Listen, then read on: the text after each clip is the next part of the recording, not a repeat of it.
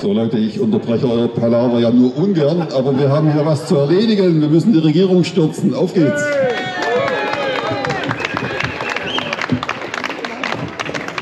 So, es ist wieder Dienstag, 18.30 Uhr, Schwäbisch Gmünd Marktplatz. Ich heiße euch alle zur 150 minus ersten herzlich willkommen. Na, die 150. machen wir nächstes Mal. Auflagen haben wir keine zu verlesen oder sie gelten hiermit als verlesen. Für die Neulinge unter uns einmal bitte Hand hoch, sei gesagt, wir haben ein offenes Mikro hier. Haben wir das? Haben wir Neulinge? Nein, alles Wiederholungstäter. Wir haben schon eine, Seid herzlich willkommen. eine Wortmeldung haben wir schon. Ja, also wie gesagt, offenes Mikro, eine Wortmeldung haben wir wohl schon. Und bevor wir da anfangen damit, soll noch mal kurz daran erinnert sein, weswegen wir uns hier versammeln. Wir wollen nämlich dafür sorgen, dass in Deutschland nicht länger der Irrsinn regiert, sondern wieder die Vernunft einkehrt. Und das hat, ja, und das funktioniert nur mit einem sofortigen und dauerhaften Ende aller sogenannten Infektionsschutzmaßnahmen.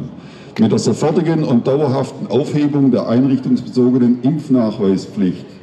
Mit dem sofortigen Ende aller Waffenlieferungen in die Ukraine und mit dem sofortigen Ende aller Sanktionen, nicht nur gegen Russland, sondern gegen alle anderen auch.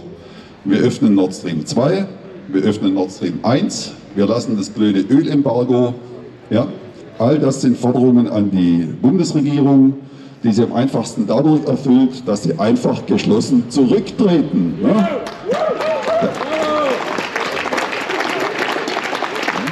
Alice Weidel hat das Formalinge für richtig erkannt, indem sie gesagt hat, das größte Entlastungspaket, das die Bundesregierung für Deutschland machen kann, wäre einfach der Rücktritt der Bundesregierung.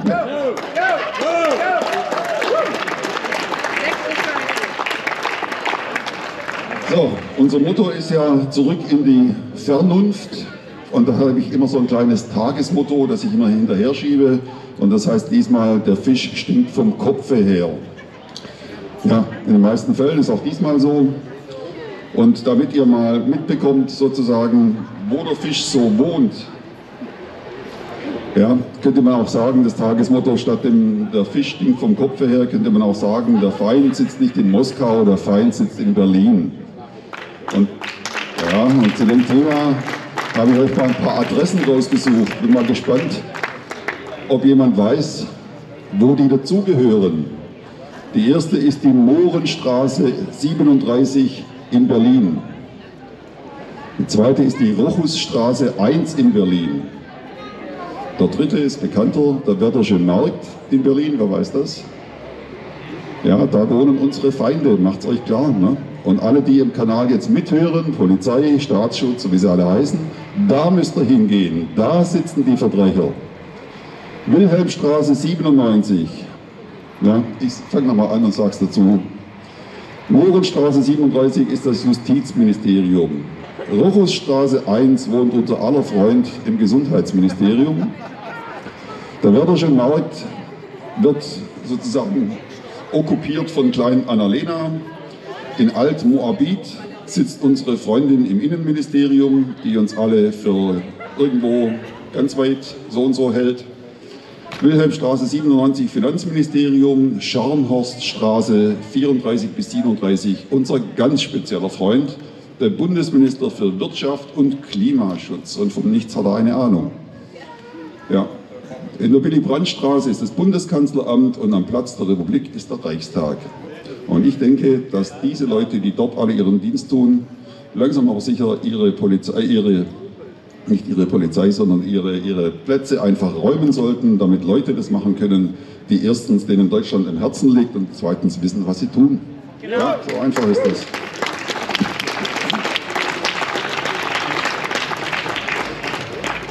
Als ich die Adressen rausgesucht habe, war ich auf der Website der www.bundesregierung.de.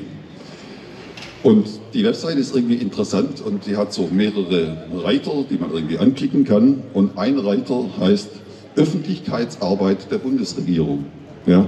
Und dann wird angezeigt, leider konnten keine Ergebnisse gefunden werden. Finde ich irgendwie cool.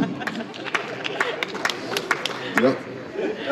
dass Sie da Webseiten installieren, die wirklich gut gemacht sind. Und dann wisst ihr was wissen und da gibt es keine Ergebnisse. Das ist irgendwie symptomatisch für die, also zumindest keine positiven. Ja. Negative Erleb äh, äh, Ergebnisse gibt es genug. Und äh, ebenfalls auf dieser Website kann man äh, im nächsten Reiter gibt es einen, äh, wie soll man sagen, ein, der hat die Überschrift Kanzler kompakt. Und da habe ich mich irgendwie schon gleich gefragt, warum das Kanzler kompakt heißt und nicht Kanzler kompetent. Wäre ja auch eine schöne Anlautgleichung gewesen. Aber wenn man geschrieben hätte Kanzler kompetent, wäre gleich aufgefallen, dass das alles Lüge ist, was da steht. Bei Kanzler kompakt kommt man ja vielleicht damit durch. Ich muss euch mal kurz zum Besten geben, was man da so alles finden kann. Also unter der Unterschrift Kanzler kompakt ist dort zu lesen, kein Öl aus Russland. Was tun wir für sichere Arbeitsplätze in der Raffinerie Schwedt? Es geht dann weiter. Im Text, da steht, das Beispiel der PCK-Raffinerie zeigt, wir haben Lösungen für die Aufgaben, die, vor die uns der russische Krieg stellt. Das erläutert Bundeskanzler Olaf Scholz in der neuen Folge von Kanzler Kompakt und wir freuen uns alle. Wir sichern in Schwedt die Arbeitsplätze, die durch Putins Handeln gefährdet waren. Wir sorgen dafür, dass das Öl dort ankommt. Wir investieren in die Zukunft in Schwedt, Leuna und Rostock. Ja, also da muss man sich ja auch mal klar machen, der Titel, der da heißt, kein Öl aus Russland, wir tun, also was tun wir für sichere Arbeitsplätze, der tut so, als ob Russland den Hahn zugedreht hätte, was das Öl angeht. Das war aber die Bundesregierung. Die haben gesagt, wir wollen das alles nicht mehr haben. Ja? Dann dieser, dieser, diese Aussage, äh, die da heißt, wir, wir sichern für sichere Arbeitsplätze, also wir sichern die Arbeitsplätze dort. Ne? Für sichere Arbeitsplätze muss man aber nichts tun. Man muss unsichere Arbeitsplätze irgendwie sichern, aber sichere Arbeitsplätze, für die muss man nichts tun. Ne? Die sind ja sicher. Ne? Und außerdem tut das Ganze so, wenn die, wenn die das so auf diese Raffinerie in Schwedt äh, fokussieren, als ob das ähm, nur die Arbeitsplätze in Schwedt betreiben, betreiben würde. Man muss sich klar machen, die stellen dort Grundstoffe her, die praktisch alle und jeder braucht. Ja, das ist Benzin, das ist Öl, das ist Heizöl, das ist Diesel, das ist Bitumen, das sind Grundstoffe für die chemische Industrie. Und wenn die dann nichts mehr produzieren, dann sind nicht nur die Arbeitsplätze in dieser Raffinerie perdu, sondern da sind hunderttausende andere ebenfalls, die da stehen und einfach nichts mehr tun können. Ja. Ich wollte euch bloß mal die Propaganda nahebringen, die da auf Steuerzahlerkosten mit Steuermitteln die Bundesregierung auf der Website verbreitet, was da so alles steht. Ne? Was da so alles steht. Und auch dieser erste Satz, der da heißt, wir haben Lösungen für die Aufgaben, vor die uns der russische Krieg stellt. Der Satz müsste eigentlich richtig heißen, wir haben keine Lösungen für die Aufgaben, die, unser, die ohne unser Tun gar kein Thema wären. Das hat ja funktioniert vorher alles. Ja?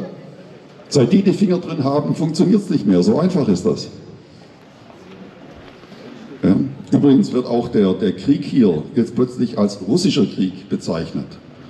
Das ist so, als ob man den deutsch-französischen Krieg 1870 als, als Deutschen Krieg bezeichnen würde. Man vergisst dann, man, man lässt die andere Partei, die in dem Krieg ja auch mitmischt, einfach weg. Ja, das ist ja schließlich kein innerrussischer Bürgerkrieg dort. Ne? Ja, ist ja so. Ne? Der zweite Satz, den man dann noch lesen kann, wir sichern in Schwed Arbeitsplätze, die durch Putins Handeln gefährdet sind. Da wird wieder mit dem Finger auf jemanden gezeigt, der dafür gar nichts kann. Der hat, der hat das nicht abgedreht das Öl. Das war unsere deutsche Regierung, die das gemacht hat. Ja? Und so ganz cool finde ich auch, wie das dann so im, im, Einzelnen gemacht hat. Das heißt, wir sichern in Schwed die Arbeitsplätze, die durch Putins Handeln gefährdet waren. Habt ihr das gemerkt? Man tut so, als ob man ein Problem gelöst hätte, wenn man das in der Vergangenheitsform beherstellt. Aber das ist natürlich nicht gelöst. Das soll bloß den deutschen Michel oder wer auch immer das liest, noch weiter einschläfern. Ne? Also, diese Website zu lesen, die ist richtig cool und wenn ich da gerade dabei bin, dann bringe ich das Thema zu Ende. Da geht es ja um diese, um diese Raffinerie in Schwedt und diese Raffinerie in Schwedt, die gehört Rosneft. Rosneft wiederum ist, ist eine russische Firma und diese Firma ist jetzt unter, wie nennt man das, unter ähm, Treuhandschaft gestellt worden. Mit anderen Worten, die können nicht mehr über ihre über ihr Eigentum verfügen. Das ist die moderne Form von Enteignung. Und die Bundesregierung behauptet, auch das ist Originalton Scholz, dass man damit die äh, Ölversorgung oder die, die Kraftstoffversorgung, ne, die Ölversorgung in Deutschland sichert. Das sichert man aber natürlich nicht, weil das ist ein verarbeitender Betrieb. Die sind darauf angewiesen, dass sie von irgendwoher Öl kriegen, um das dann zu verarbeiten. Also schon das ist wieder eine Lüge in dem, was da steht. Und dann muss man sich auch klar machen darüber, dass dieses, diese Rosneft an der deutschen Mineralölversorgung lediglich etwa 12,5 Prozent Anteil hat. Ja, das heißt, die sichern die Ölversorgung so, wie sie die Stromversorgung sichern. Sie sichern, wenn überhaupt, einen kleinen Teil und lassen 80, 90 Prozent eben ungesichert. Genauso ist es hier auch. Der größere Teil nämlich, der in, was, Öl und, und, Benzin und so angeht, der wird überhaupt nicht von Rosneft produziert. Die produzieren nur etwas mehr über 10 Prozent, sondern der wird von Shell und BP produziert. Und dann erhebt sich natürlich die Frage, warum werden die unter Treuhandschaft gestellt?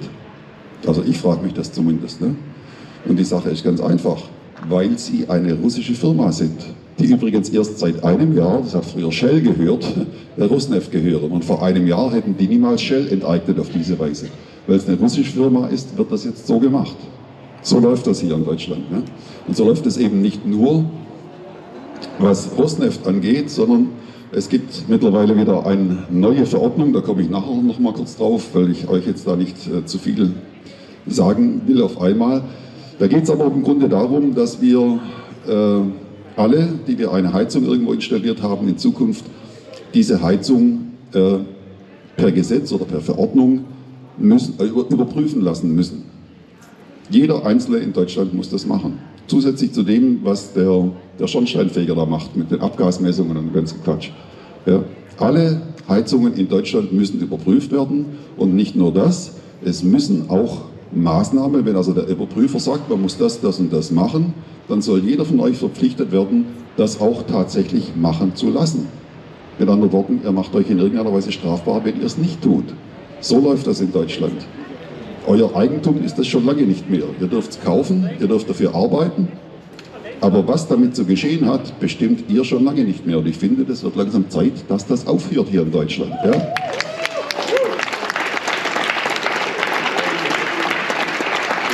Tanja sagt gerade, sie hat eine passende Musik dazu, also lockern wir das Ganze mit ein bisschen Musik auf.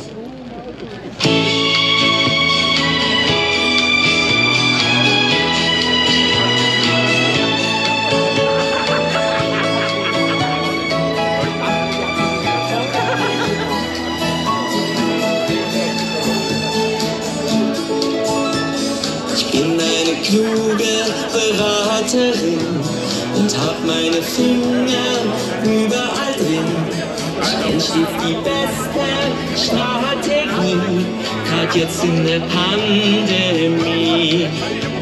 Ob Tagesschau oder BMI, ob Tagesspiegel oder RKI, was ich allen rate, egal was geschieht, pack ich in ein kleines Lied. Ein bisschen lügen, ein bisschen fremen, die Leute werden es euch abnehmen. Ein bisschen lügen, ein bisschen schönen, ein bisschen schönen, das wünschen sie. Ein bisschen lügen, ein bisschen täuschen und was nicht reinpasst, einfach wegstreichen. Ein bisschen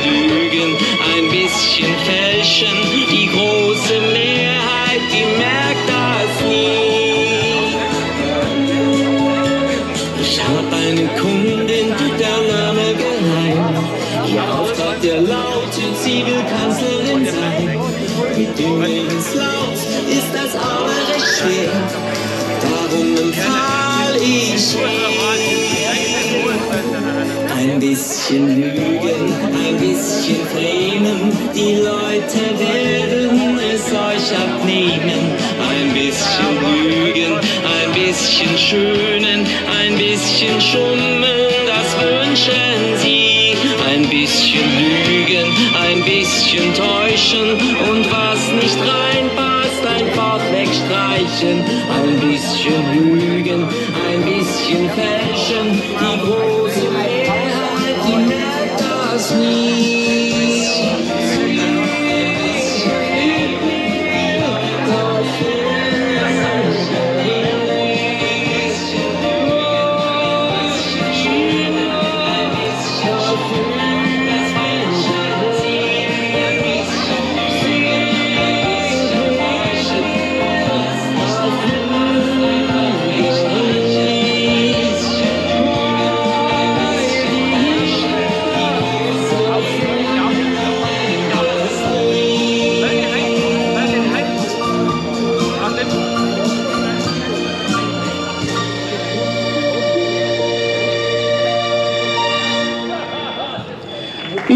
Übrigens könnt ihr ihn nächste Woche live erleben, hier in Schwäbisch Gmünd. Der kommt aus Dresden extra zu uns runter. Der wird im Mohart sein, in äh, Schwäbisch Hall, in Heilbronn und er kommt auch bei uns vorbei am Dienstag. Ich freue mich wie Bolle. Wir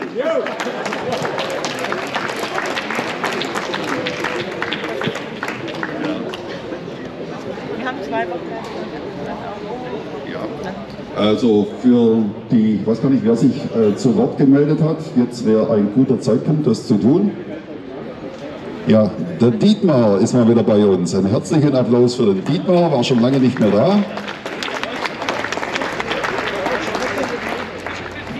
Ja, hallo, liebe Freunde, für Freiheit, Demokratie und, und, äh, und Friede. Diese drei diese drei Worte sind für uns doch maßgebend.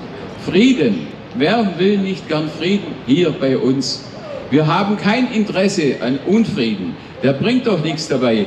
Und wir wollen diesen Frieden erhalten, nachdem wir mit, für diesen Krieg, der hier geführt wird, sagen wir nein, der geht uns überhaupt gar nichts an. Was das Zweite ist, dass wir nicht mehr in Freiheit leben und haben keine Demokratie mehr. Wir sehen es jeden Tag mehr, dass unsere Demokratie beschnitten wird.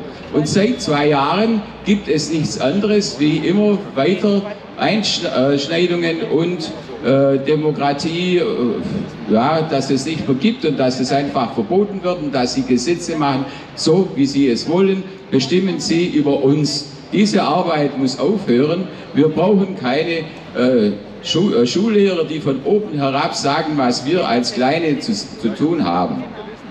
Und dann möchte ich die, die Rede von der Sarah Wagenknecht, die war sehr interessant. Und da hat sie unter ihrer Rede gesagt, wir haben in Europa die dümmste Regierung, wo es überhaupt gibt.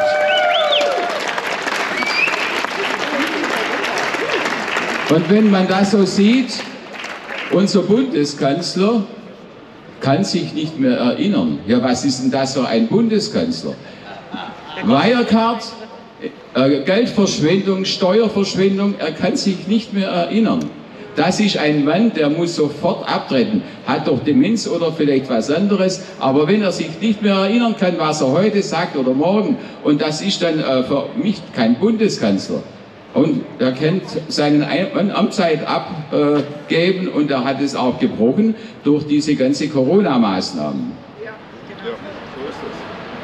Dann unser Insolvenzminister und Pleiteminister, Habeck. Der weiß ja nicht einmal, was eine Insolvenz ist. Schäm dich. Und er hat zum Wohl der Deutschen, ja, wir sollen kalt duschen.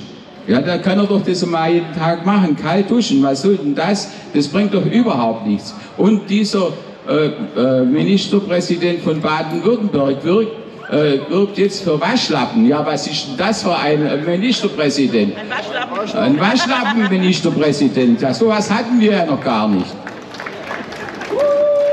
Dann muss ich noch sagen, Strobel, der macht jetzt das ganz einfach. Wir ziehen jetzt den Stecker. Ja, toll.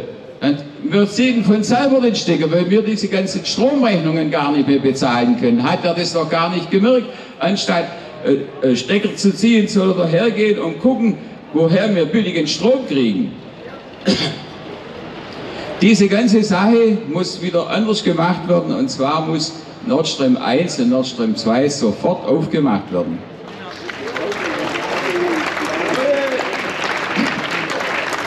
Baerbock hat doch den Amtseid äh, abgelegt, dass es den Deutschen gut geht. Nein, sie hat ihn gebrochen. Der deutsche Wähler ist ihr doch egal. Sie ist eine Kriegstreiberin, eine Kriegstreiberpartei.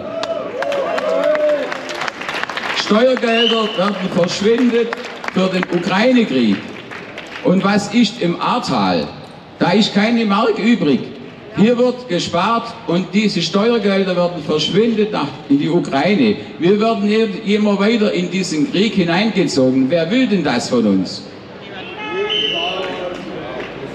Und die Feser, das ist ja auch eine tolle Person, muss ich sagen, die guckt uns alle an als Rechtsradikale, aber vor den äh, Islamisten zieht sie den Schwanz ein.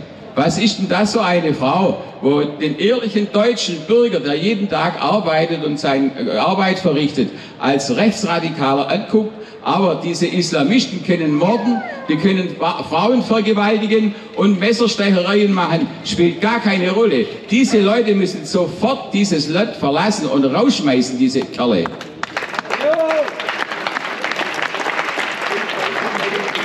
Natürlich haben wir noch, mal, noch ein paar so Kapazitäten und lang und rot. Oktoberfest München, habt ihr das gesehen? Was die Frauen haben, die haben dickere Oberarme wie ich. Ja, die brauchen sie ja auch. Eine Maßkrug, die wiegt was. Aber das können sie, das, das geht gerade noch, dass sie ein Maßkrug stemmen können. Aber alles andere taugt, da taugen sie nichts dazu. Auch abwählen, weg mit denen. Und jetzt kommt unser Oberpanikminister Lauterbach. Der hat noch gar nicht gemerkt, dass Biden jetzt vor wenigen Tagen gesagt hat, die, für die USA ist die Pandemie beendet. Ich hoffe, dass dieser endlich mal aufwacht und dann sich, jetzt ist Schluss. Aber er will uns niedrig halten und mit weiter Maskenpflicht und so weiter die Leute äh, zwingen, die Maske aufzusetzen, Abstand zu halten. Das geht so nicht weiter. Was ist im Flugzeug? Ist das Flugzeug anders wie die Bahn? Im Flugzeug keine Maske, in der Bahn Maske. Das ist doch hirnverbrannt. So ein Mensch, der hat hier nichts zu suchen in dieser Bundesregierung.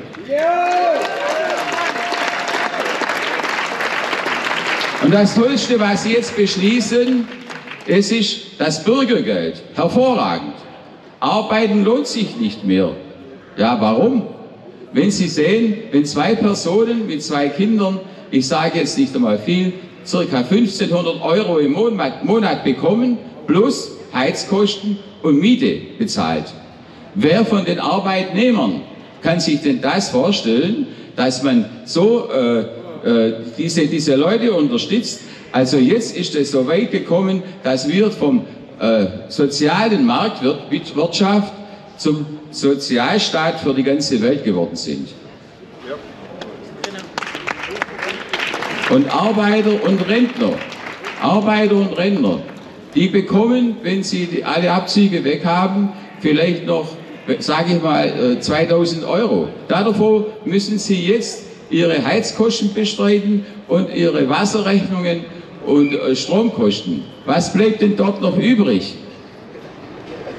Hätte, ich hätte noch hier noch ein Beispiel. Ich habe heute mit einer Bäckersfrau gesprochen, und, und zwar bei uns in der Gegend. da, sagt sie, da habe ich sie gefragt, wie es aussieht mit dem, mit dem Bäckerhandwerk, mit dem Backen und so weiter, finanziell, ob sie über die Runden noch kommt. Hat sie mir gesagt, Gott sei Dank habe ich noch einen Holzofen, dann kann ich den noch nehmen und dann noch mit Öl und so weiter. Und dann kann ich noch die Abwärme benutzen, damit ich noch halbwegs über die Runden komme. Ja, ist das der Sinn? Ein Bäckerhandwerk und wenn das Brot mal 10 Euro kostet oder eine Dose Schinkenwurst, sage ich mal, vielleicht 15 Euro, wo, ist, wo, wo kommen wir da hin? Wer soll denn das noch bezahlen? Ich habe nichts gegen Flüchtlinge. Aber wenn die Flüchtlinge von der Ukraine sofort Hartz IV bekommen, wer soll denn das bezahlen? Das bezahlt doch wir alle, wo hier auf dem Marktplatz stehen und alle, die jeden Tag arbeiten. Ja, das kann es doch nicht sein, dass man denen den Hintern vergoldet.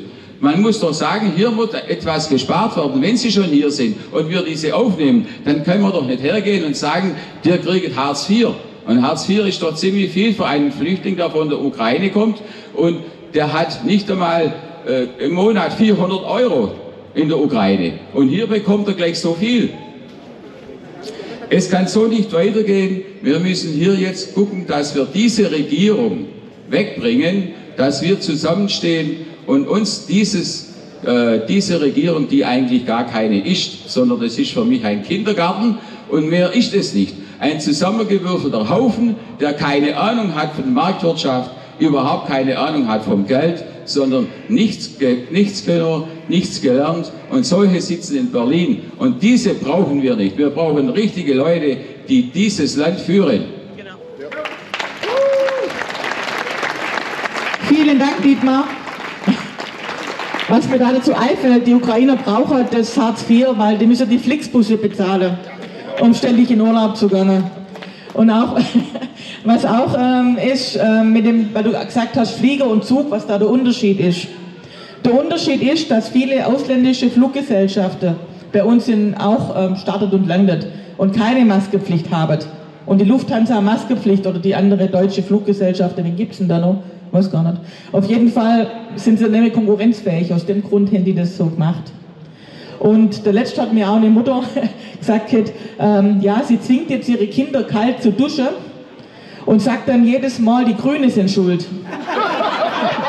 so kann man die Kinder auch erziehen, das Richtige irgendwann mal zu wählen. Genial. Also das ist ja genial. Was anders. Ich habe heute Morgen eine Leider schon. Ähm, ich habe heute Morgen eine Nachricht gekriegt von einer ähm, Erzieherin. Ich sitze im Stadtgarten bei einer Fachtagung. Herr Baron erzählt vor mindestens 200 Menschen, dass er beim Weltkindertag eine Diskussion mit Querdenkern von der Dienstagsdemo hatte. Und dass er mit diesen versucht hat, einen Weg zur Kommunikation und einen gemeinsamen Weg zu finden. Es war aber nicht möglich. Wer dabei war, war Ute, Conny und ich. Und ja, hallo. Conny hat, äh, äh, Ute erzählt was dazu, genau. Das ging so los, dass ich wusste gar nicht, wer er ja, ist. Ähm, ich wusste leider nicht, wer er ist, oder Gott sei Dank, egal. Ähm, und es ging so los, dass er sagte, er bedankt sich bei den Kindern, dass sie die Pandemie so gut mitgemacht haben.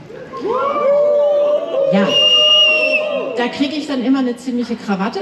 Ich schaffe nämlich mit Kindern und dann bin ich hin, also nicht laut während der Veranstaltung, sondern beiseite und habe ihm gesagt, ob er eigentlich weiß, wie es den Kindern geht. Und die Überlebensstrategie von Kindern ist immer, sich anzupassen. Die Kinder hatten keine Wahl. Die mussten dadurch, ja, chancenlos. Ja? Und dann habe ich ihm erzählt, wie groß der Bedarf ist an Logopädie. Also ich habe, meine meisten Gruppen haben zu fast 45, äh, 45, nee, Moment, 75 Prozent Logopädiebedarf. 75 Prozent der Kinder, heute habe ich mit einer Gruppe angefangen, 100 Prozent Logopädiebedarf. Ja, aber die kriegen alle keine Plätze. Die kriegen einfach keine Plätze, weil die Wartelisten elendlang sind. Nach wie vor ist es so, dass die Therapieplätze für Kinder einfach nur noch für die schwer selbstmordgefährdeten Kinder zugänglich sind. Für die anderen gibt es überhaupt keine Plätze. Und dann sagt er, Dankeschön, dass ihr so gut mitgemacht habt. Und dann entspannte sich eine Diskussion, dass ich dann gefragt habe, wo er denn so seine Sachen her hat. Ja, sie haben dann irgendwann beschlossen, äh, sich dem RKI anzuvertrauen und die Sachen zu machen. Darauf habe ich gesagt, haben Sie die Lageberichte gelesen? Ja, er hätte sie überflogen. Da sage ich dann, schade, denn im Juni 2020 stand in einem der Lage, entweder war es der 14. oder 24. Juni, stand im Lagebericht auf der letzten Seite, dass in den Sentinel-Centern in KW 16 keine Influenza mehr festzustellen war und in KW 17 2020 kein SARS-CoV-2. Das steht da drin beim RKI. Ja? Nicht nur, dass es das Phänomen der Wiederauferstehung gibt beim RKI, also wenn man sich die Todesstatistiken da anguckt, das steht da drin. Ebenso stand auf einer Seite, auch auf einer letzten Seite, dass eine hohe Dosisgabe von Vitamin D schützt vor einer Infektion. Das steht drin beim RKI, dem man sich anvertraut hat, was man aber nicht gelesen hat. Das war so das Gespräch mit Herrn Baron. Wir haben ihm dann einen runden Tisch angeboten. Den er kam, kam dann wieder mit, äh, wie heißt, Berge, mit den Bildern von Bergamo und, und, und. Er sagt, aber man muss doch langsam wissen, dass das alles getürkt war. Und wenn man dieses Framing sieht und dieses einseitige Berichterstatten, muss einem doch irgendwann mal einleuchten, dass da was anderes kocht. Ja, ist nicht dran zu denken. Und dann habe ich in der Tat gesagt, äh, ganz klar, hier in diesem Land gibt es keinen einzigen Verantwortlichen, der so viel Rückgrat hat, sich jetzt hinzustellen und zu sagen, wir haben Mist gemacht. Gerade in Bezug auf die Kinder haben wir Mist gemacht in diesem Land. Nachdem ich dann, das, Tanja hatte mir das dann geschickt, ich habe das dann gelesen, habe ich gedacht, klar, die können mit uns nicht reden. Ich, ich, wir würden ja mit ihnen reden. Also auch ich würde mit ihnen diskutieren, nach wie vor. Aber die können mit uns nicht reden, denn sie haben keinerlei Fakten auf ihrer Seite. Genau. Sie sind nicht bereit, sich den Tom Lausen anzuhören. Das kennen sie alles nicht. Ja? Also von daher nicht nur der dicke Fisch stinkt am Kopf, auch der kleine.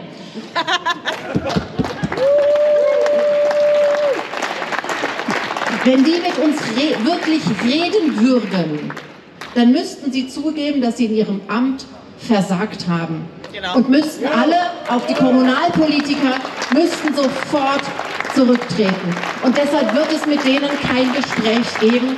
Und ich sage mittlerweile, ich verschwende meine Energie nicht mehr daran. Ich kümmere mich um meine Kinder und gucke, dass ich da noch was richte. Vielen Dank, das nur zur Info. Ja, also es war echt enttäuschend, das heute so mitzukriegen, nachdem er mit uns da am Wochenende gesprochen hat. Und wir haben auch gesagt, ähm, dass man ähm, die ganze ähm, Spezialisten, Experten an den Tisch setzen soll. Dann sagt er, ja, das gibt ja viele. Dann sage ich, ja, aber es wäre gut, paritätisch die an den Tisch zu setzen. Dann können sich alle Menschen eine eigene Meinung bilden. Aber das, das hören die gar nicht, gell? Das ist faszinierend. Ja, jetzt haben wir nochmal eine Wortmeldung. Alex? Äh, Gibt es heute jemanden, der zum ersten Mal da ist? Hallo miteinander. Äh, ich weiß nicht, ob ihr es gesehen habt, am Samstag ist ja das Oktoberfest eröffnet worden. Wie die Leute dann eingesprungen sind. Ich denke, die erinnert vom Russen davon oder von der neuen Virusvariante. Ne? Und da gelingt dem Staat oder dem System wieder, etwas von was anderem abzulenken. Ne? Wenn wir jetzt mal überlegen, wir gehen zehn Tage in die Zukunft, 1. Oktober, da patrouilliert die Bundeswehr mit Waffen und äh, Fahrzeugen bei uns auf der Straße. Weiß das jemand? Ja, also, ähm, jetzt gucken wir mal davon aus, Bundeswehr, wo ich bei der Bundeswehr war, waren wir 15 oder 18 Monate mal ausgebildet war und danach wieder gegangen.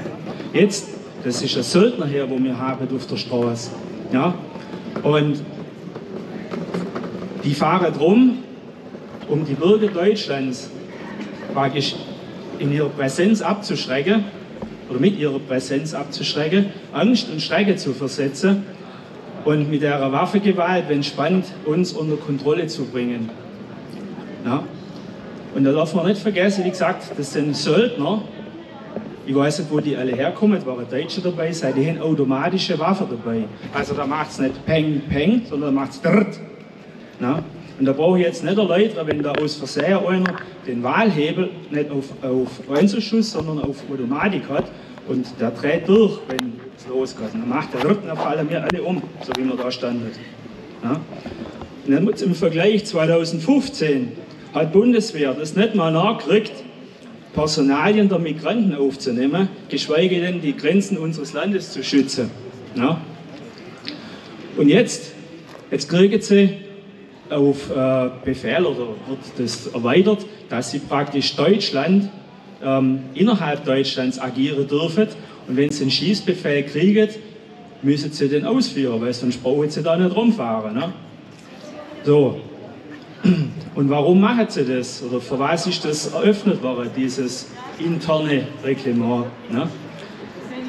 Damit man die Feinde der sogenannten staatlichen Elite ja, außer, außer Kraft setzen kann oder Schachmatt setzen kann.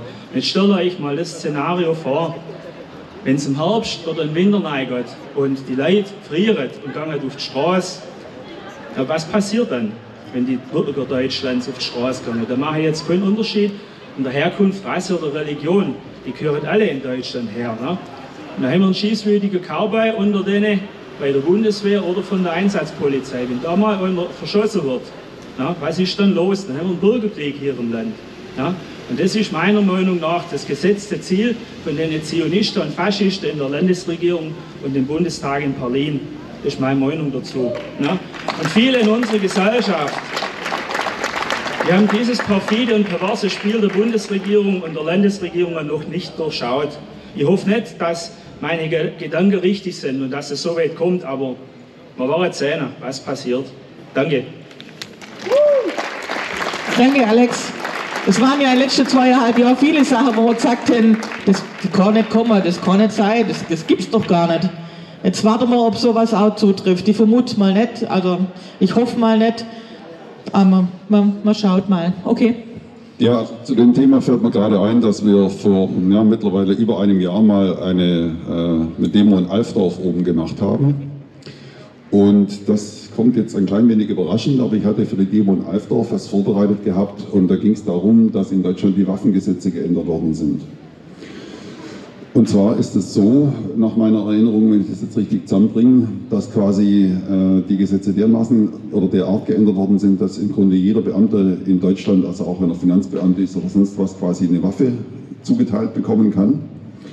Und es ist auch so, dass die Ausstattung derer, die Waffen tragen dürfen, geändert wurde.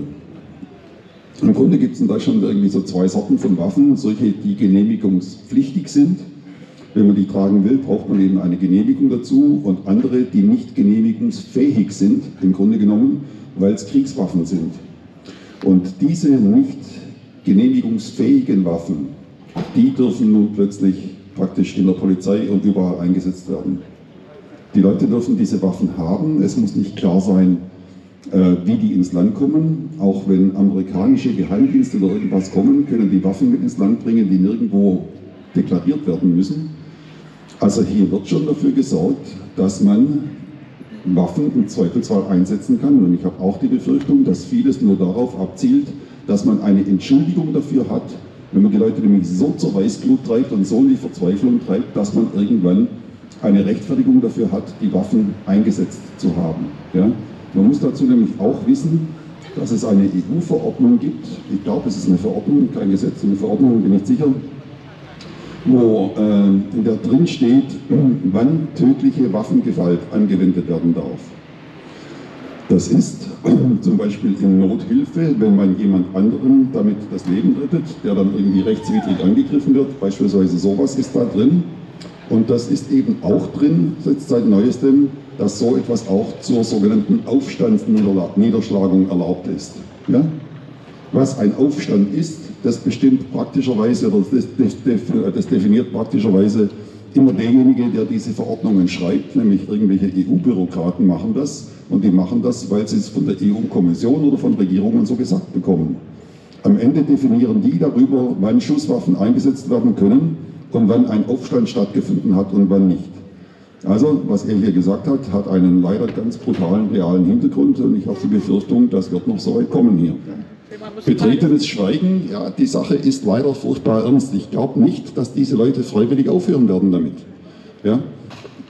Man muss klar sagen, alles, was sie hier machen, hat die bisher nicht von ihrem Generalkurs abgebracht. Die machen weiter.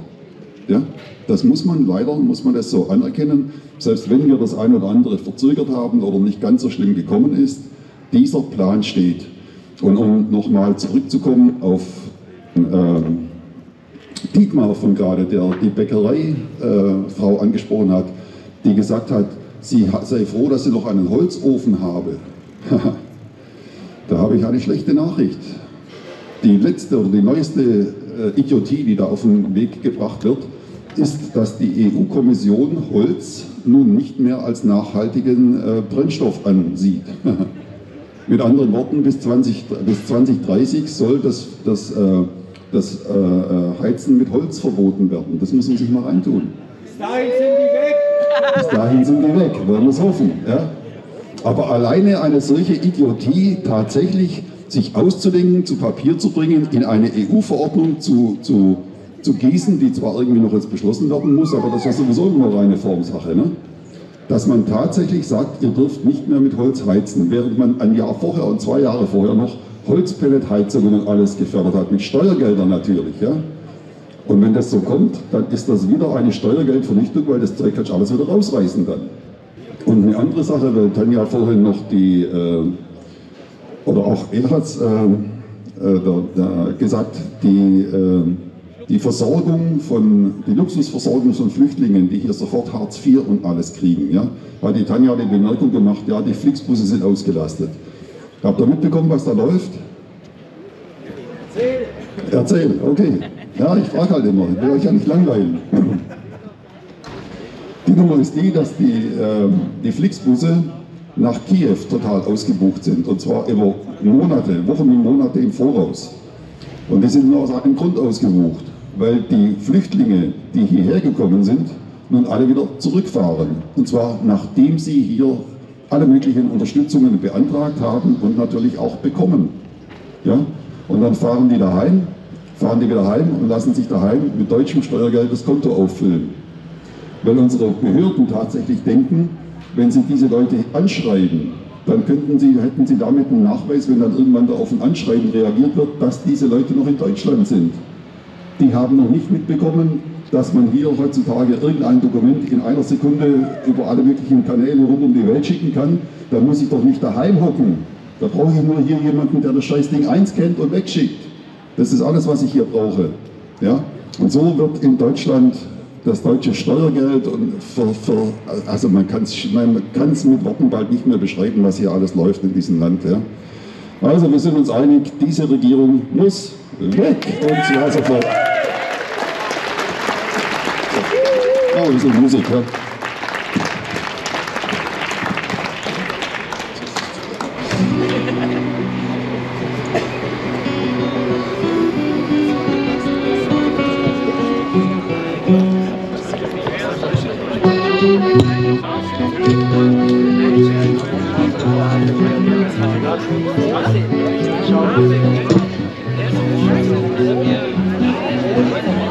Geschäft. Hört mal ja und danke sagen, wenn sie dich mal ausnahmsweise um Erlaubnis fragen, du kannst doch Mund aufmachen, um zu protestieren. Und du musst nicht mit der blöden Masse laufen und dich dann nochmal vor die Fernseher besaufen, lieber. Dein Hinterbein statt auf einem Vier. Du musst nicht, und das weißt du selber ganz genau. Denn irgendwann sind die Jahre grau. Und wie du lebtest, interessiert dann keine Sau. Jetzt ist Schluss, was man muss so. Sollte es auf jeden Fall rausgehen, den ganzen Schluss. Abschiedskuss.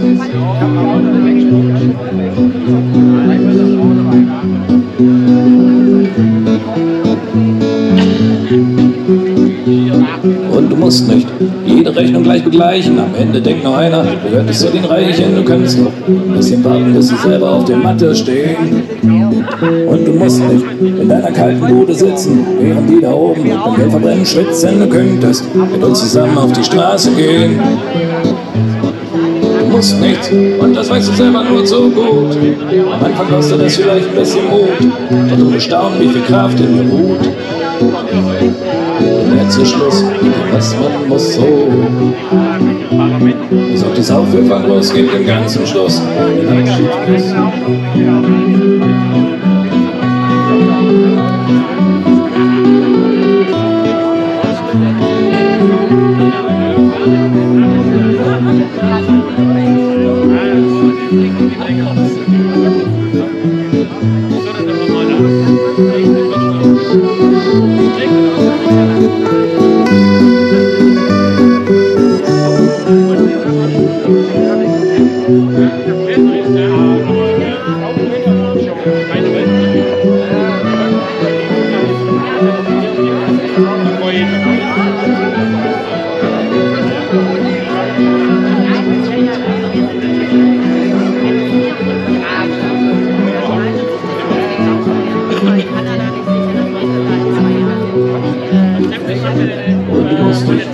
Abschiedskuss. Maske queren, nur weil gottverdammte Lobbyisten es befehlen. Sage ihnen, dass sie selber dran ersticken sollen.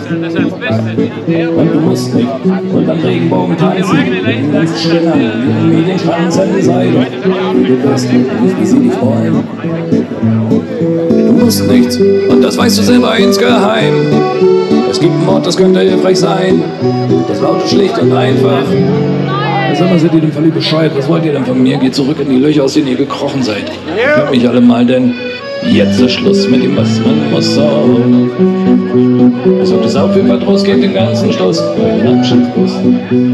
Aber jetzt ist Schluss mit dem, was man muss. So. So das Apfelpatros geht den ganzen Schluss. Einen Abschiedskuss.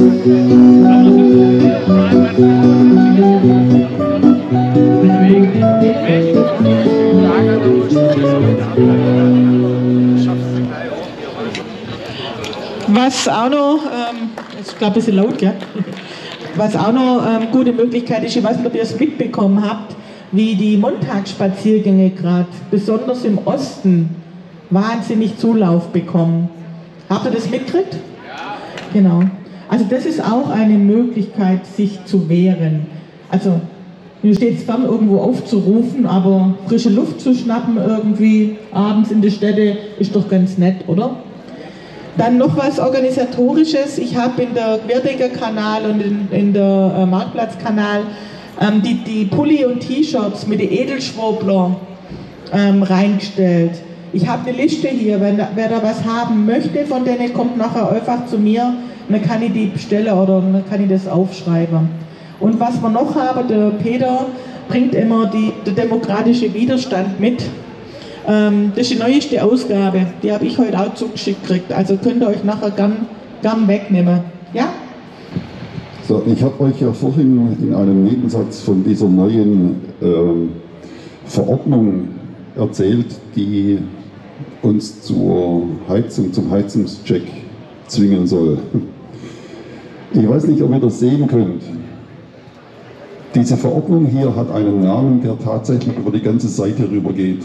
Ich versuche mal das zusammenzubekommen. Sie heißt Mittelfrist Energieversorgungssicherungsmaßnahmenverordnung. Solche Wörter gibt es nur im Deutschen. ja. ja, also, diese zweite Energiesparverordnung umfasst mittelfristige Maßnahmen und soll ab dem 1. Oktober 2022 gelten. Sie ist auf zwei Jahre angelegt und bedarf noch der Zustimmung des Bundesrates. Das ist wie immer nur Formsache. Ein Punkt, der viele Millionen Privatpersonen betrifft, ist die Pflicht zur Heizungsprüfung. Alle Eigentümer und Eigentümerinnen von Gebäuden und mit Gasheizungen, mit Gasheizungen müssen in den nächsten zwei Jahren einen Heizungscheck durchführen. Wichtig, neben dem Check ist man auch verpflichtet, Optimierungen ausführen zu lassen. Damit soll erreicht werden, dass mehr Gasheizungen effizienter arbeiten. Ja, ich spare mir den Rest, weil es auf genau das hinausläuft, worauf es immer hinausläuft. Euch wird die Verfügungsgewalt über euer Eigentum einfach genommen. Ihr könnt nicht mehr selber entscheiden, wann ihr was macht und ob euch das gerade reinpasst oder ob für euch jetzt nicht gerade sozusagen, was auch immer, neue Klamotten für die Kinder wichtiger gewesen wären. Ja, das nimmt man euch alles aus der Hand und dazu fällt jetzt gerade wieder ein, was die Ronja letztes Mal dazu gesagt hat. Und das heißt, ein Scheiß muss ich. Ja.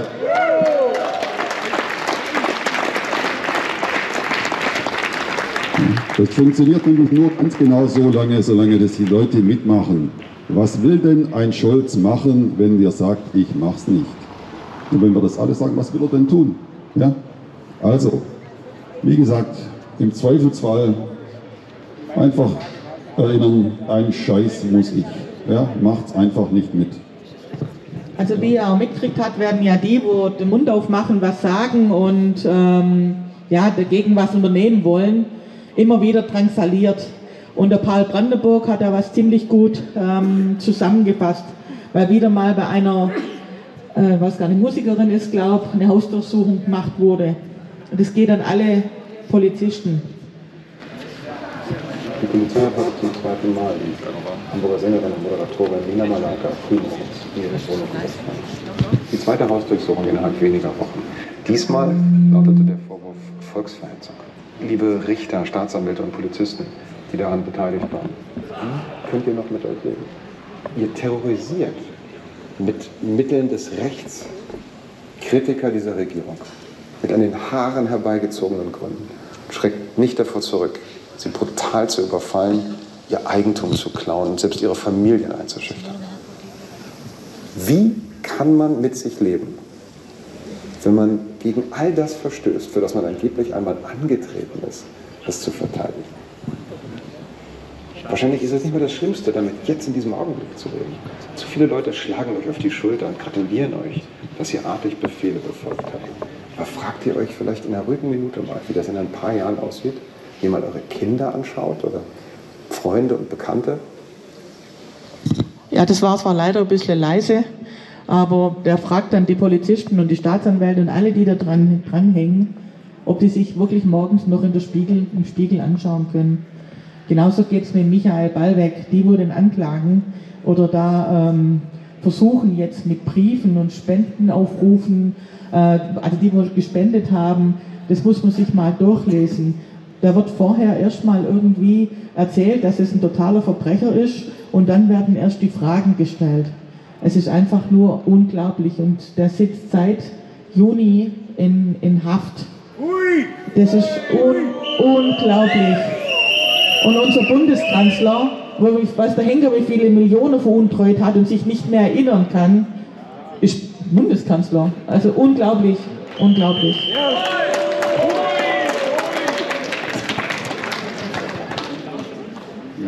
könnten vielleicht noch kurz den Ulrich Mies zu Wort kommen lassen. Das ist ganz kurz, aber knackig.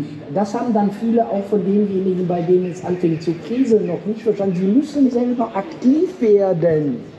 Genau. Da kommt nicht jemand nach Hause und sagt, du, ich bin jetzt dein neuer Freund und können wir uns mal darüber unterhalten und ich finde es ja alles genauso scheiße wie du. Äh, nein, du musst selber aktiv werden. Genau. Und das ist das vielleicht für viele auch die immer in abhängig beschäftigten Strukturen gearbeitet haben. Neu, ihr müsst selber aktiv werden, ihr müsst euch jetzt in dieser katastrophalen Zeit, wenn ihr denn sowas wie Demokratie haben wollt, auch als Demokraten bewähren. Und Demokrat sein heißt aktiv werden und vor allen Dingen den Herrschenden kein Wort zu glauben. Denn sie verdienen das.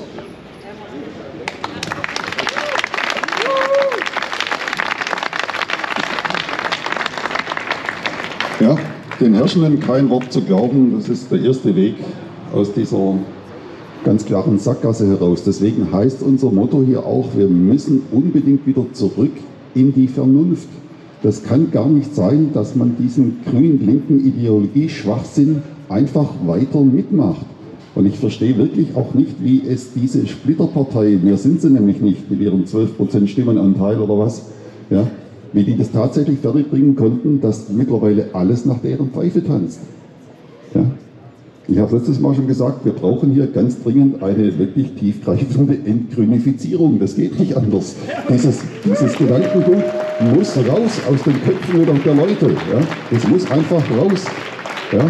Die Leute müssen auch endlich begreifen, dass beispielsweise Umweltschutz, gegen den man vernünftigerweise kaum etwas haben kann, nicht dasselbe ist wie Klimaschutz.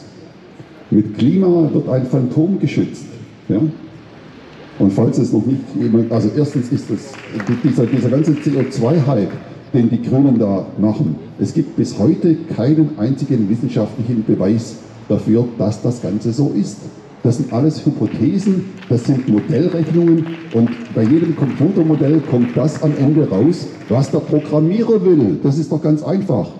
Wir haben mit diesem ganzen Klimaquatsch, der ja der Motor dieser ganzen Geschichte ist, das muss man sich ja mal reintun, was aufgrund dieser angenommenen CO2-Schädlichkeit und der angenommenen Welterwärmung und was nicht alles, ne, was da alles gemacht worden ist. Wir haben mittlerweile hier in Deutschland ein Gesetz, dass obwohl die, die Spritpreise und alles, die Energie teuer ist, wie sie noch nie war, zum Jahreswechsel wieder die nächste Stufe zünden wird. Da wird die Energie, also die Tonne CO2, wieder das mal von 35 auf 40 Euro bepreist, wie das genannt wird. Ja, da wird der Liter Sprit dann nochmal um mindestens 10 Cent teurer. Nur weil man annimmt, dass das Ganze irgendwie fürs Klima gut wäre. Ja? Wobei, wenn Deutschland aufhören würde mit diesem ganzen Scheiß, würde es keiner merken, weil China in einem halben Jahr mehr macht, als wir sparen können. Das ist alles vollkommener Blödsinn. Ja? Und dieses grüne Gedankengut, das muss einfach wieder raus aus den Köpfen, das muss raus aus den Schulbüchern, das muss raus aus den Zeitungen. Ja? das kennen Sie. Ja, das kennen Sie auch nicht. Das ist, das ist alles nur darauf abgezielt, die Leute mit irgendwas zu beschäftigen, zu machen, damit man nicht merkt, was im Hintergrund da für eine Agenda abläuft. Und diese Agenda, die da abläuft, heißt ganz einfach, wie sagt Klaus Schwab, du sollst nichts mehr besitzen. Und er wird Recht behalten, weil bis ins Jahr 2030 hält das keine Bevölkerung durch. So viel Reserven hat kein Mensch, dass er diesen Schwachsinn zehn Jahre lang oder jetzt noch sieben Jahre lang bezahlen kann. Du wirst im Jahre 2030 nichts mehr besitzen, weil sie bis, bis dahin alles genommen haben werden fürs Klima, damit irgendwelche Leute in 300 Jahren ein bequemes Leben haben. Das ist die Agenda, die dahinter steckt. Ja? Diese ganze Bedrohung wird immer ganz knapp hinterm Horizont gehalten. Ja? Das ist die Strategie, die die da machen. Ja? Du wirst nichts besitzen und die Eliten werden glücklich sein. Die Eliten werden glücklich sein, so sieht's aus, genau. Ja. Also. Ich habe noch eine Geschichte. Ja. Ja, wie immer bin ich mit den Grünen noch nicht ganz fertig. ja.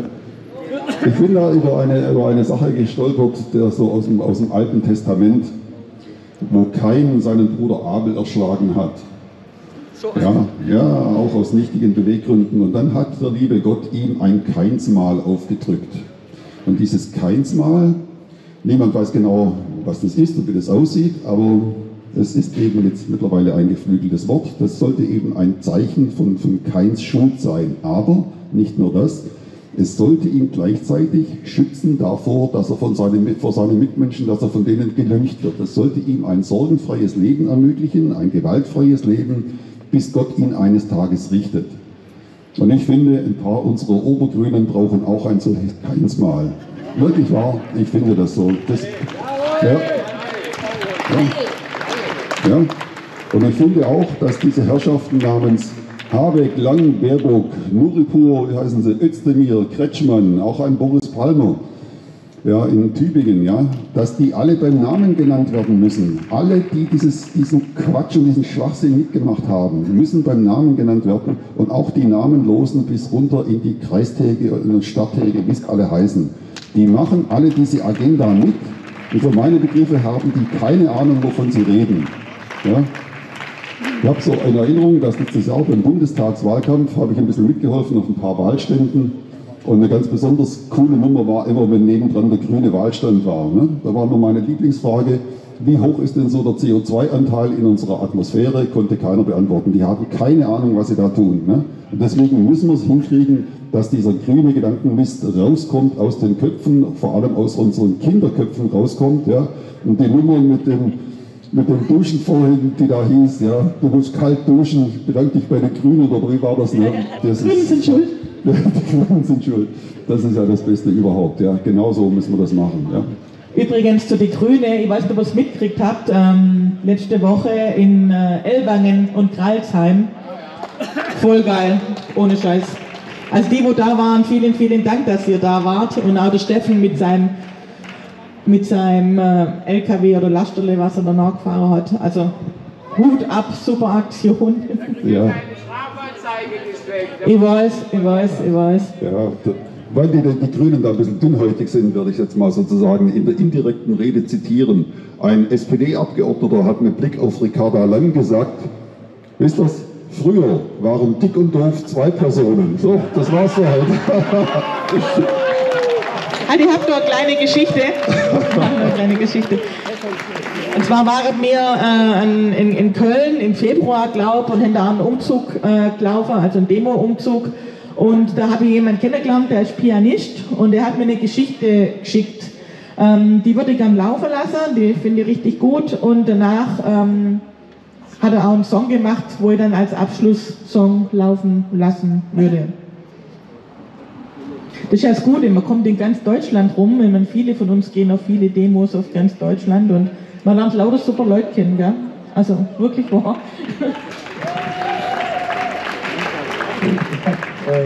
vor ein oder zwei Wochen eine Geschichte geschrieben. Diese ganze Zeit äh, inspiriert mich sehr musikalisch und äh, manchmal auch rein, äh, zu reinen Texten. Und der Folgetext von mir heißt Blau ist blau.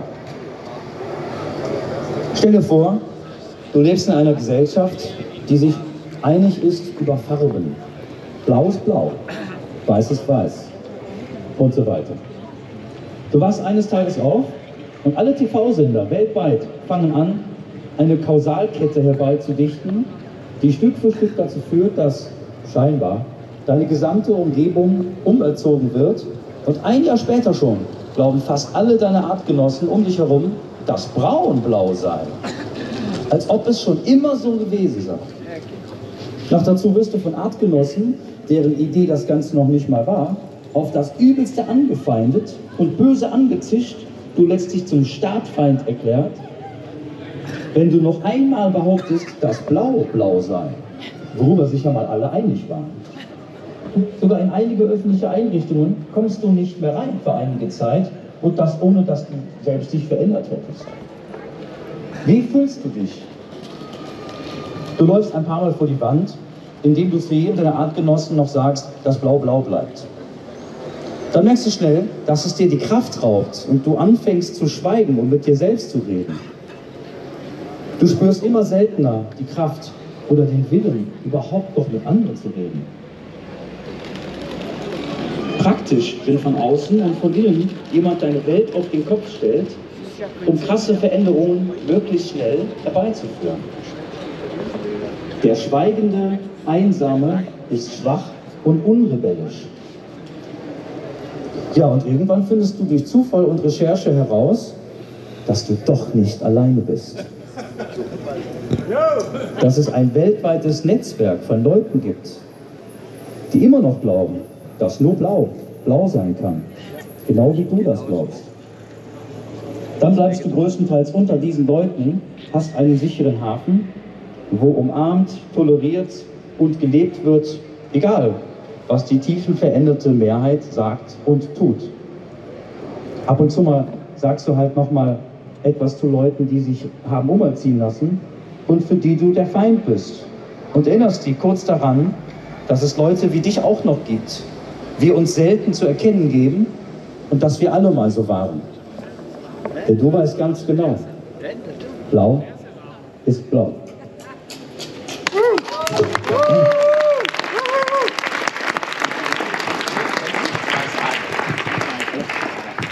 Also, liebe Leute, das muss jetzt loswerden. Ich schwätze mal auf Schwäbisch. Kann ich auch. Und zwar eine Frage an euch alle. Wenn Sie jetzt grün und rot mischen und noch einen Schuss gelb dazu, was entsteht für eine Farbe? So, genau, sie hat recht. Und hatten wir nicht schon mal vor 80 Tagen so eine braune Brühe? Wir müssen gucken, dass nicht eine zweite braune Brühe entsteht. Danke. Und jetzt mache ich noch das Abschiedslied vom Joe und äh, vielen Dank, dass ihr, dass ihr alle so zahlreich da wart. Denkt dran, nächste Woche die Nummer 150. Der Wolfgang Kreulich wird da sein, Tina wird da sein und der Jan Song King wird da sein. Genau. Euch ein schöner Abend noch. Okay, ja, danke fürs Kommen. Safe the date. Nächste Woche seid ihr alle wieder da. Lassen wir es dahin. Ja. Also ich erstmal möchte das hervorragend zu dem das jetzt gesagt haben heute, ganz speziell zu der Rede von Olli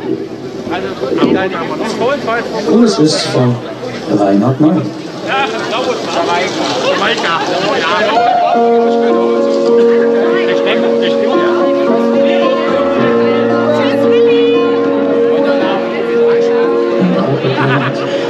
Sie auf den nassen Rasen, die grinsen mich an, die alten aufgeweichten Phrasen, die Gesichter von nach den Greisen, die das Mittelalter als den Fortschritt und Preisen. Und ich denke mir, dass jeder Schritt zu dem verheißten Glück ist ein Schritt nach ewig gestern, ein Schritt zurück.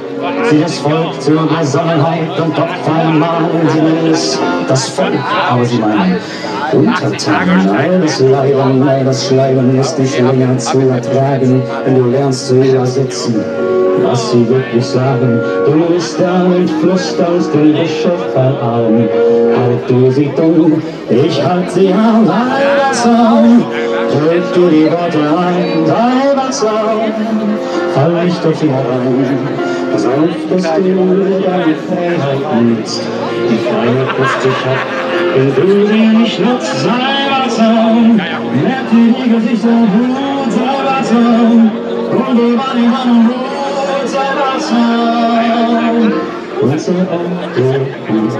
Wanne unser Onkel. Du machst das Fernsehen an, sieh immer nach guten alten Werten, guten alten Werte sind das immer noch die Verkehrten. Und die, die da so vorne in der Talkrunde strampeln, sind es, die auf allen Werten mit Füßen umtrampeln. Der Medienmonopol und der Zeitungszahl die schlimmsten Lokaltheater. Na wunderbar. Sie rufen nach dem Kruzifix nach Leuchtturm und finden noch ihre Botschaft des Lichts.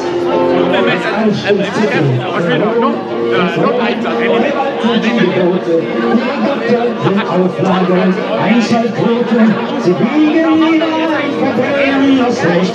Ihre guten alte Werte, ach, der wird mir echt schlecht. Sei wachsam, trägt dir die Worte ein, sei wachsam fall nicht auf sie herein. Pass auf, dass du deine Freiheit nutzt.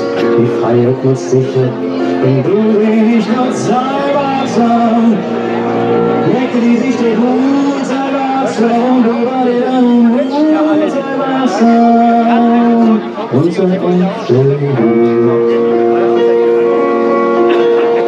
Es ist eine Riesenkonjunktur für Rattenfinger, für Trittbrettfahrer und für Schmiedeempfänger wird Zeit für Selbstbediener und Geschäftemacher. Scheinheiligkeit, Geheuchel und Postengeschacher und die sind alle hoch geschätzt und hochgeachtet und anerkannt. Und nach den Schlimmsten werden Straßen und Flugplätze benannt. Packt den Hühnerdieb, die Waffenschieber lässt man laufen. Pfeifchen Gras, aber eine ganze Giftgasfabrik kannst du hier kaufen. Verseucht die Luft, verstrahlt das Land ab und straft den größten Schaden. Nur lass dich nicht erwischen, Nachbar sitzt Blockaden und packt den Grünfried, doch das Umweltschwein genießt Vertrauen. Und die Polizei muss immer auf den Falschen draufhauen. Sei wachsam, hört dir die Worte ein, sei wachsam fall nicht auf sie herein. Auf, dass du deine Freiheit nutzt. Die Freiheit nutzt dich ab, wenn du sie nicht nutzt. Sei wachsam und werd dir die Gesichter gut. Sei wachsam und bewahr dir deinen Mut. Sei wachsam und sei aufgleich Grundgesetz, das soll den Rechtsstaat garantieren.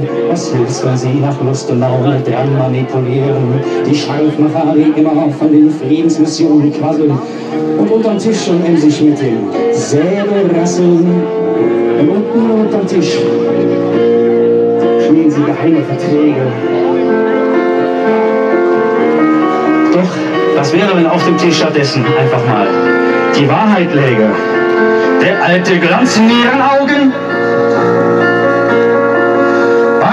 Großen Zapfenstreich. Abteilung kehrt, ab Gleichschrittmarsch, ein Lied und Heimatsreich. Und nie wieder soll von diesem Land Gewalt ausgehen. Wir müssen Flagge zeigen, dürfen nicht beiseite stehen. Ein humanitär natürlich und ganz ohne Blut vergießen. Kampfansätze sind jetzt nicht mehr ganz so auszuschließen. Wir ziehen uns immer tiefer rein, Stück für Stück. Und seit heute früh um 5 Uhr schießen wir wieder zurück. Sei wachsam, dir die Worte ein, sei wachsam. Fall nicht in die pass auf, dass du deine Freiheit nutzt. Die Freiheit nutzt sich ab, wenn du sie nicht nutzt. Sei wachsam, wachsam und bewahr dir deinen Mut. Sei wachsam und sei auf der Hut. Ich hab Sehnsucht nach Leuten, die mich nicht betrügen, die mir nicht mit dir auf Festrede, die liebevoll lieben verschlug mich mit den falschen, ehrlichen, die falschen, ehrlichen, die waren gefährlichen. Ich hab Sehnsucht nach einem Stück Wahrhaftigkeit, nach einem bisschen Rückgrat in dieser verkrümmten Zeit. Doch sag nicht die Wahrheit, sonst hast du bald nichts mehr zu lachen. Sie gar nicht ruinieren, exekutieren und runtermachen, erpressen, bestechen, versuchen dich zu kaufen. Du die Wahrheit sagst, lass draußen den Motor laufen, dann sag sie schnell. Uns schnell, das Sprichwort lehrt. Die Wahrheit sagt, braucht ein verdammt schnelles Pferd. Sei wachsam, präg dir die Worte ein, sei wachsam. Falle nicht auf sie herein, pass auf, dass du deine Freiheit nutzt. Die Freiheit nutzt sich ab, wenn du sie nicht nutzt, sei wachsam.